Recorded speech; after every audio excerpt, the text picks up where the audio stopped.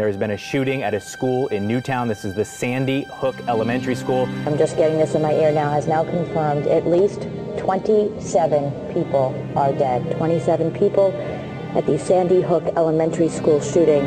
I think it's stuff that can easily be prevented if we take the proper precautions. I feel terrible for the people's families because I know I have nieces and nephews that are in those grades. I also have a little brother in that grade. So when I found out, it hurt me because that could happen anywhere. That could happen in New York, happen in North Carolina, anywhere we are. So I felt really bad.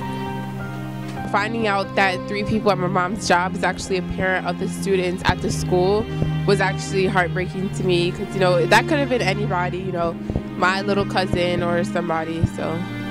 Wore a bulletproof vest and was carrying at least three semi automatic weapons, including a rifle.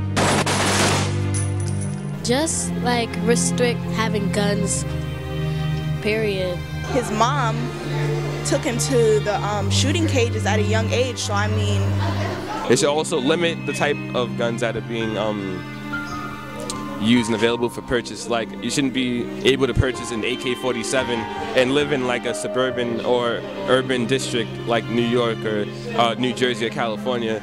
Around noon, ABC News learned that Lanza had killed 27 people, most of them children, before turning the gun on himself. I know there's not a parent in America who doesn't feel the same overwhelming grief that I do. By 7 p.m., this little town had settled into an all too familiar post massacre routine with prayer vigils. Like, just pray for them and just hope for the best. Uh, this is a very sad moment, and my heart goes out to everyone. Um, just, I would say to them, just keep your head up, because um, there are better days ahead.